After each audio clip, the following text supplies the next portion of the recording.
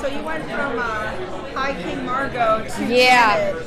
Finally. I know. uh, what's Janet? Janet, uh, oh god, I don't know if this is a spoiler. Um, she has a new trade, is all I can say.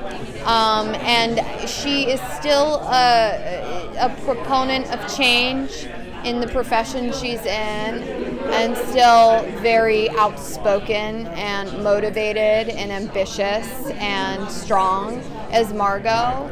And one of the choices I was sort of confronted with when we realized we had these new identities was all right, do I change the character completely?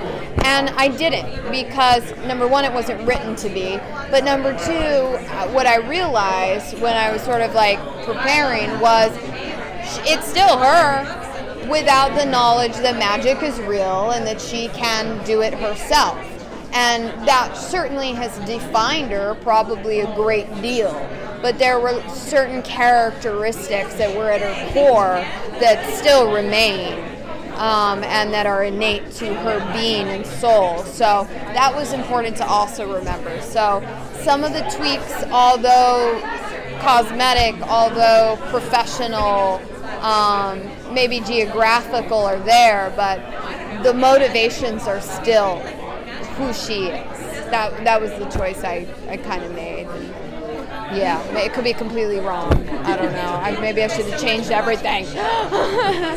Looking back on season three, uh, Margo had a lot of growing up to do as, as the king when Ellie was off on his quest. and- Yes. Or queen and then the king came. Yes. And then, uh, and then issues with uh, Princess Aloria and there was consent issues. And Yes. Uh, how was that as an actress playing those roles? Were they difficult days? Were they Yeah. just a job? Um, it's never just a job on the magicians. That's that's the cool thing. You can't get lazy. You literally cannot phone it in or do your shtick like you probably could on some other shows. I don't know that don't move as quickly or don't involve this sort of tone. You kind of have to be present and at all times to just understand tonally how a scene should play.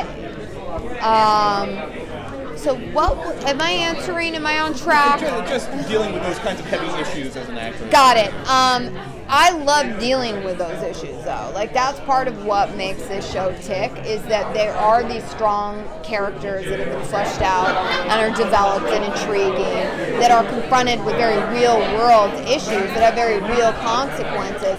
But we also have magic and it's also kooky and crazy and fun and like I think part of what makes the kooky crazy work is that we have these hard scenes. Um, and what keeps it interesting as an actress is I can kind of fluctuate.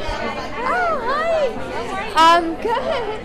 Um, I can kind of fluctuate between genres if I want on any given day at work. So it's always interesting on The Magician. Are you Yeah. excited to not have to wear the eye patch anymore? Was I'm it a so pain? Like, what was excited. it? It was well, it was a pain and it was also a challenge. Like I just said, it was one of those things that it was third year on a show. I'd been playing this character for, you know, already two full years, and a challenge was definitely welcome. Because I, I want to grow as much as possible on this show. Because I think anytime you can work this consistently for this long, you got to take advantage of, of the learning you could do. Um, so I took it as a learning curve, and I learned a lot. I made a lot of mistakes, I think, um, but I also learned from them. So, so it's bittersweet.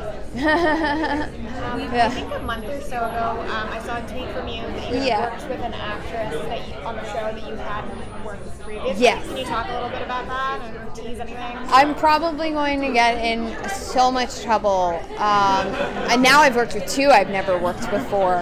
Um, and when I tweeted that, I was very quickly reminded when people started guessing that I had actually been in scenes with this person before.